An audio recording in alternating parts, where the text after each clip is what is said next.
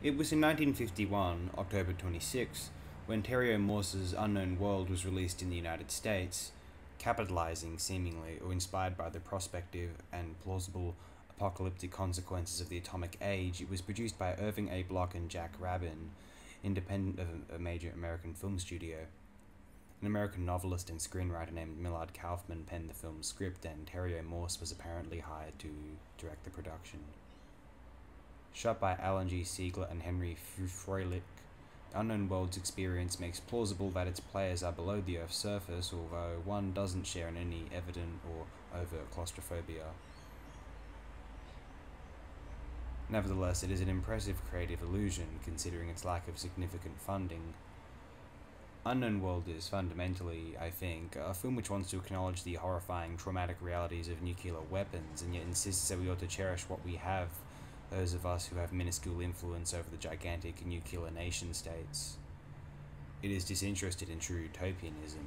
The journey to the center of the earth turns up no Pellucidar, but a poisoned, noxious environment, and one which is swiftly destroyed and collapses, possibly with them as the cause, the crew that is, although also believably a narrative convenience.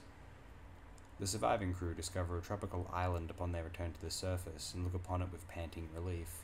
Let's appreciate what we have while it lasts.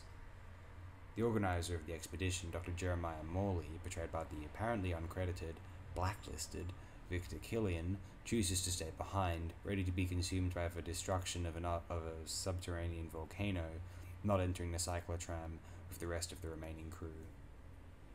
Kilian was tragically murdered by burglars in his Hollywood apartment in March 1979. It's absolutely tragic. I was kind of really aghast reading about on his Wikipedia page. Truly ugly world. Dr. Morley's deductive nihilism is hard to shake from a viewer after the film announces its end, and I wonder if the filmmakers intended it this way. While the world did not end during the 1950s, and not necessarily the Cold War either, the threat has never disappeared, and now nuclear powers again, and never still, threaten their weapons of war of inevitable Armageddons for reasons most are genuinely unsure. People watch television or internet broadcasts where commentators speculate on the thought processes of world leaders. Are there any thought processes to observe or merely survival driven impulses?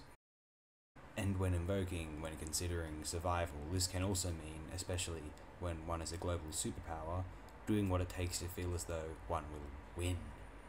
Some superpowers claim belief in a greater good that they would be responsible for, and some consumers begrudgingly agree, although same superpowers could provocatively manipulate a situation so that others might be forcefully put down because, indeed, why share the wealth now? But Unknown World is to be enjoyed as a quaint 1950s era American science fiction genre picture, and it can be effective at demonstrating a scientific voyage, doubling as a dangerous, thrilling adventure. It is marginally educational, politically inspired, although without a significant claim to originality with this facet. It is a reasonably fun episode, although not of extreme artistic proficiency and hardly narratively revelatory. Unknown World is to be mildly admired for its trying ambitions, a stern warning of humankind's cataclysmic capacity for death in the post war 20th century and beyond, whilst a pulpy escapist trip down through the layers of the Earth's crust at the same time. An inoffensive, overall likable number.